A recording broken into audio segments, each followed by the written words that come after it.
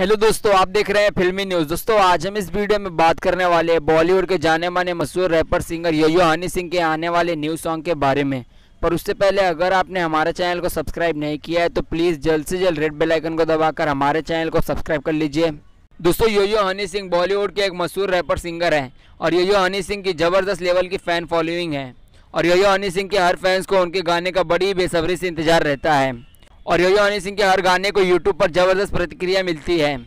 और दोस्तों, आज हम हनी सिंह के हर फैंस को एक बहुत बड़ी खुशखबरी देने वाले हैं। जी हाँ दोस्तों, योयो हनी सिंह का नया गाना जल्दी ही रिलीज़ होने वाला है। दोस्तों, योयो हनी सिंह के आने वाले नए गाने का नाम है गड्डी नेवी। और इस गाने में योयो हनी सिंह के साथ सिंगर सिंगस्टा ने काम किया है। दोस्तों, गड्डी नेवी यह song Speed Records and Bobby Suri द्वारा प्रेजेंटेड है। और ये गाना 16 दिसंबर 2021 को रिलीज़ होने वाला है। और दोस्तों, इस गाने में लिरिक्स और म्यूज़िक सिंगस्टा द्वारा दिया गया है और इस गाने को मीर गुलाटी द्वारा डायरेक्ट किया गया है और ये गाना बॉबी सूरी द्वारा प्रेजेंटेड है और इस गाने में योयो हनी सिंह और सिंगस्टा बतौर आर्टिस्ट काम करेंगे। तो दोस्तों, तैयार हो जाइए हनी सिंह के आने वाले न्यू सॉन्ग के लिए, जो 16 दिसंबर 2021 को रिलीज़ होने वाला है। और दोस्तों योयो हनी सिंह के पिछले कुछ सॉन्ग की बात करें तो उनमें कांटा लगा और बॉम बम ये हिट सॉन्ग शामिल है।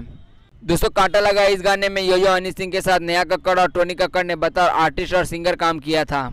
और इस गाने को यूट्यूब पर ज़बरदस्त प्रतिक्रिया मिली है। दोस्तों, इस गाने को यूट्यूब पर कुल मिलाकर 180 मिलियन व्यूज़ मिले हैं।